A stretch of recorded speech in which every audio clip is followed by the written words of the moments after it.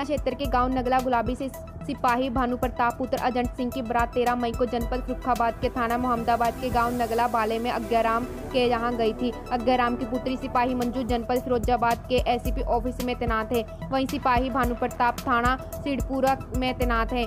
दोनों ही पुलिस विभाग में नौकरी करते हैं। बारात पहुँचने के बाद बारात की आवभक्त की गई है। बारात में भोजन के विवाद में घराती व बराती पक्ष के लोग आपस में भिड़ गए। देखते ही देखते तू तू मैं मैं इतनी बढ़ गई कि लड़की के पिता अज्ञाराम ने शादी से इनकार कर दिया। झगड़े की सूचना पर स्थानीय पुलिस भी मौके पर पहुँची।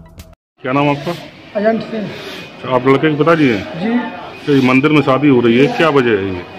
ये मतलब जो है उन्होंने अपने घर पे नहीं करने दी तो लड़की गिराई थी झगड़ा किया हम्म। और मतलब बरातियों को मारा पीटा हम्म। हम लोगों को भया दिया। लड़की जी राज़ी थी लड़की ने अपनी शादी की अपनी स्वेच्छा से। लड़की बाद में साथ में चली आई? हाँ।